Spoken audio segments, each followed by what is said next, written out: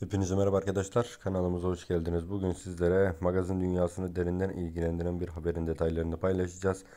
Videomuza geçmeden önce siz de Sibel Can'ı seviyor ve beğeniyorsanız videomuzun like butonuna yani beğenme butonuna tıklayarak destek verebilirsiniz. Şu an farklı bir şekilde tepki altına alınmış durumda. Yani sosyal medyada konuşulanlardan sonra biz de video yapma gereği duyduk. Şu an Sibel Can'ın 3 aylık hamilelik bir sürecinin yaşandığını ve daha sonrasında evlenmek zorundayım şeklinde bir açıklama yaptığı ortaya sunulmuş. Yani Sibel Can'ın hamile olduğunu itiraf etmesinden sonra da tabii ki toplum olarak farklı bir baskı ve şu an farklı konuşmalar seyredilmeye başlanmış. Bundan sonraki süreç bize neyi gösterecek merak ediyoruz.